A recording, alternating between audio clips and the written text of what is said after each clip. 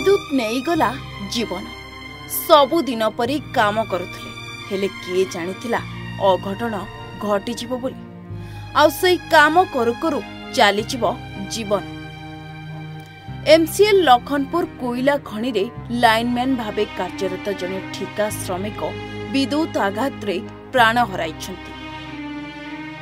ମୃତ ଠିକା ଶ୍ରମିକ ଜଣକ ହେଲେ ଝାରସୁଗୁଡ଼ା ଜିଲ୍ଲା ଲଖନପୁର ବ୍ଲକ ସୁଲଦିଆ ଗ୍ରାମର ସ୍ୱର୍ଗତ ଈଶ୍ୱର ଶାହଙ୍କ ପୁଅ ଝସ୍କେତନ ଶାହ ବୟସ ପ୍ରାୟ ପଇଁତିରିଶ ବର୍ଷ ହେବ।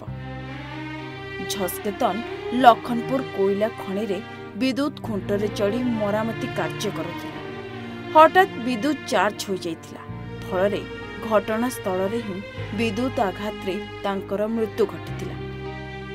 ଝସ୍କେତନକୁ ଗୁରୁତର ଅବସ୍ଥାରେ ବେଲପାହାଡ଼ ଟିଆର୍ଏଲ୍ କ୍ରୋସାକି ଡାକ୍ତରଖାନା ଅଣାଯାଇଥିବା ବେଳେ ଡାକ୍ତର ତାଙ୍କୁ ମୃତ ଘୋଷଣା କରିଥିଲେ। ମୃତକ ଝସ୍କେତନ ଏମ୍ସି ଲଖନପୁର କୋଇଲା ଖଣିରେ ନିୟୋଜିତ ଇଣ୍ଡଷ୍ଟ୍ରିଆଲ ଇଞ୍ଜିନିୟରିଂ ୱାର୍କସ ନାମକ ଏକ ଠିକା ସଂସ୍ଥାରେ କାର୍ଯ୍ୟ କରୁଥିଲେ। ମୃତ ଯୁବକର ପରିବାରରେ ବୃଦ୍ଧା ମାଙ୍କ ସହିତ ପତ୍ନୀ ଓ ଚାରି ବର୍ଷର ପୁଅ ଥିବାବେଳେ ତାଙ୍କର ଏପରି ମୃତ୍ୟୁ ଖବରକୁ ନେଇ ଭାଙ୍ଗି ପଡ଼ିଛନ୍ତି ପୁରା ପରିବାର। ଏନେ ମୃତକଙ୍କ ଗ୍ରାମବାସୀ କ୍ଷତିପୂରଣ ଦାବିରେ ଶବ ଉଠିବାକୁ ଦେଇନଥିଲେ ତେବେ ଏମ୍ସିଏଲ୍ ପକ୍ଷରୁ କ୍ଷତିପୂରଣ ବାବଦକୁ ଅଣତିରିଶ ଦଶମିକ ନଅ ପାଞ୍ଚ ଲକ୍ଷ ଟଙ୍କା ସମେତ ସୁଧ କ୍ରିୟା ପାଇଁ ନଗଦ ପଚାଶ ହଜାର ଓ ପରିବାରର ଜଣକୁ ଠିକା ସଂସ୍ଥାରେ ଚାକିରି ଦେବା ପାଇଁ ଲିଖିତ ପ୍ରତିଶ୍ରୁତି ଦେଲା ପରେ ଶବ ଉଠିଥିଲା।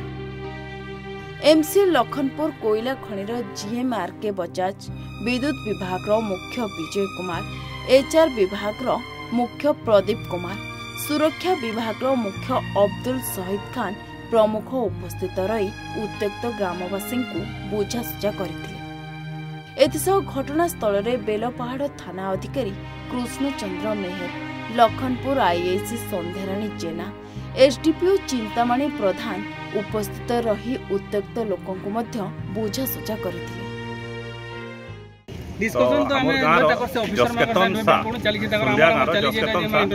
ଖମାରେ ଚଢ଼ିଥିଲା ଆଉ ଲାଇନ୍କେ ଯୋଡ଼ୁଥିଲା ଆଉ ସେଫ୍ଟି ବାଲେ ସେଟା ଧ୍ୟାନ ନେଇ ଦେଇ ଆଉ ସେ ଲାଇଟ୍ କେ କରେଣ୍ଟ କେ ଦେଇ ଦେଇଛନ୍। ଏମ୍ ସି ଏଲ୍ ଅଣ୍ଡରରେ ସେଟା ଠିକାଦାରୀ ହେ ସେଟା କାମ ହେଉଥିଲା ଆଉ ସେ ତତ୍ବଦ୍ୱାନରେ ତାର ଜୀବନଟା ପଳେଇଗଲା ତାର ଗୋଟେ ବୁଢ଼ୀ ମା ଅଛେ ଖଟେ ପଡ଼ିଛେ ତାର ଗୋଟେ ୱାଇଫ୍ ଅଛେ ତାର ଚାରି ବର୍ଷ ତାକୁ ହେଇଥିଲା ପଇଁତିରିଶ ବର୍ଷ ସେ ଷାଠିଏ ବର୍ଷ ତ କମେଇଥିତା। ଆମର ଡିମାଣ୍ଡ ଅଛି ସେ ପଚାଶ ଲକ୍ଷ ତା ସ୍ତ୍ରୀକୁ ଦିଆଯାଉ। ତା ସହିତ ତାର ଚାରି ବର୍ଷ ଛୁଆ ଅଛି ତାକେ ଏମ୍ସିଏଲ୍ ଟେକ୍ ଓଭର୍ କରୁ ମାନେ ଅଠର ବର୍ଷ ତକ ସେ ପାଠ ପଢ଼ୁ।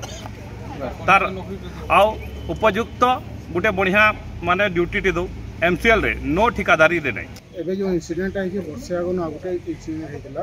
ସେଠି ଏମସିଏଲ୍ ତାମାନେ ଠକି ଦେଇଛେ। ଆଉ ଇ ଇନସିଡେଣ୍ଟ ବାରମ୍ବାର ହେଇ ଚାଲିଛେ ଆମର ଲୋକମାନେ ଏମସିଏଲ୍ ଲାଗି ବୋଲିକିରି। ଏନେଇ ଲଖନପୁର ପୋଲିସ ଏକ ମାମଲା ରୁଜୁ କରି ତଦନ୍ତ ଜାରି ରଖିଛି। ବେଲପାହାଡ଼ରୁ ରଶ୍ମି ରଞ୍ଜନ ମହାନ୍ତିଙ୍କ ରିପୋର୍ଟ ଓଡ଼ିଶା ଭାସ୍କର।